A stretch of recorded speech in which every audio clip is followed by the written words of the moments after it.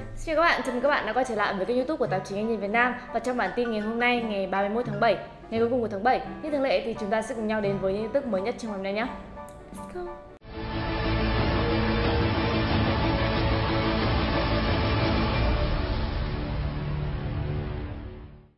Các bạn mến, ngày ra mắt chính thức của Galaxy Note 10 và Note 10 Cộng thì cũng đang gần kề với nhiều những thông tin dò dỉ về thông số kỹ thuật. Và mới đây thì thông tin về phiên bản màu rose của thiết bị này thì cũng được tiết lộ và trang web của Đức WinFuture đã đăng tải những hình ảnh render của mẫu điện thoại Galaxy Note 10 phiên bản Rose. Ngoài ra thì dự kiến là chiếc điện thoại này cũng sẽ có các phiên bản màu trắng, màu bạc và đen. Note 10 cộng thì dự kiến sẽ được trang bị con chip là Snapdragon 855 Plus hoặc là Exynos 9820 phụ thuộc vào từng thị trường khác nhau. Cùng với đó là RAM 12GB và bộ nhớ trong sẽ là 256GB hoặc với biến thể là 12GB RAM và 512GB bộ nhớ trong.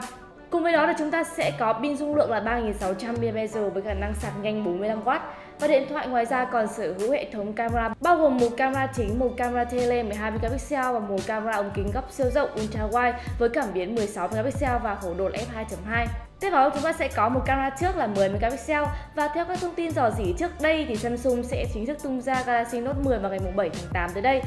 Và công ty dự kiến sẽ bán ra mẫu Note 10 cộng không lâu sau đó vào ngày 23 tháng 8. Các bạn mến, theo GSM Arena thì Black Shark 2 Pro là một bản nâng cấp nhẹ đến từ Black Shark 2 và điểm đáng chú ý nhất của Black Shark 2 Pro sẽ dùng con chip Snapdragon 855 Plus, đồng nghĩa với việc đây sẽ là smartphone thứ hai trên thế giới được trang bị dòng chip cao cấp nhất của Qualcomm sau ROG Phone 2 của Asus. Và thiết kế tổng thể của Black Shark 2 Pro này thì không khác so với Black Shark 2, tuy nhiên thì mặt sau sẽ được nhám hơn để làm cải thiện cảm giác cầm nắm và được trang bị thêm hai đèn LED RGB ở hai bên logo của Black Shark. Và Black Shark 2 Pro được cải thiện tốc độ đáp ứng của màn hình cảm ứng là 6,39 inch với độ trễ hiện tại chỉ là 34,7 ms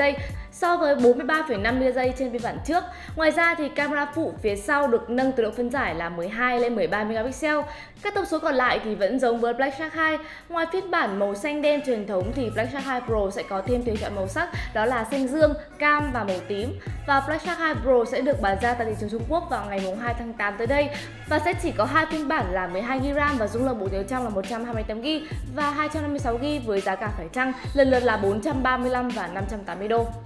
Các bạn thân mến, theo trang Gimo China thì mới đây Samsung được cấp bằng sáng chế về thiết kế smartphone với ba màn hình xếp chồng lên nhau. Theo đó thì ba màn hình này sẽ hoạt động độc lập với nhau. Người dùng có thể sử dụng để chúng hiển thị nhiều nội dung hơn hoặc là thu gọn lại khi cần. Theo một số nguồn tin giờ dỉ thì các nhà thiết kế tại Let's Go Digital đã tạo ra một bản dựng về chiếc smartphone mới này. Ba phần màn hình sẽ được gắn kết với nhau ở đáy và người dùng có thể mở chúng ra theo hình quạt. Những hình ảnh dò dỉ về bản thiết kế mới này cho thấy máy không có bất kỳ phím bấm vật lý nào, cũng như là camera trước và sau. Hiện tại thì vẫn chưa rõ là ý tưởng này sẽ được thực hiện như thế nào và nó có thực sự hữu ích trong quá trình sử dụng hay không. Có thể thấy là bên cạnh những chiếc smartphone truyền thống thì các nhà sản xuất di động hiện nay thì các nhà sản xuất di động hiện nay đang cố gắng tạo ra nhiều thiết kế mới mẻ hơn nhằm mở ra những tương lai mới và khác hơn cho ngành công nghiệp điện thoại như là thác nước của Oppo, tràn viền hay là gập. Mặt khác thì ngành công nghiệp di động đang chào đón sự ra mắt của hàng loạt những chiếc smartphone màn hình gập và gã khổng lồ công nghệ Hàn Quốc cũng đã sẵn sàng cuộc đua này với Galaxy Fold chuẩn bị ra mắt vào tháng 9 năm nay.